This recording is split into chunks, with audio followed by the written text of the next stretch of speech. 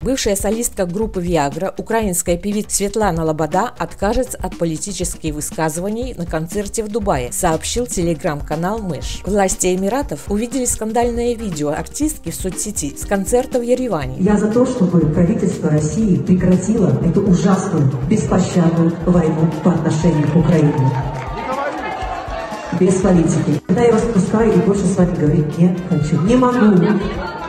Вы приехали ко мне на концерт, значит, вы должны поддерживать мою позицию. Потому что люди, которые приезжают ко мне на концерт, люди, которые слушают мою музыку, они за мир, Видео опубликовал телеграм-канал «Не о проблем». Предупредили организаторов Лободы, что в Дубае такого быть не должно, или же концерта не будет. Если будут пропагандировать, лишится заработка в Эмиратах, плюс штраф и будет запрет на въезд, как на примере иноагентов Галкина, Верки Сердючки и Оксимирона, которые не следили за своим языком. Организаторы тут же приняли все к сведению и провели беседу с Лободой о возможных последствиях в случае подобного инцидента. Певица приняла условия организаторов не высказываться и ничего не комментировать. Будет оставлять свои взгляды при себе и уважать другие. И действительно, люди на концерты обычно ходят музыку послушать, а не политикой голову, чтоб им там забивали. Что вы думаете на этот счет? Напишите в комментариях.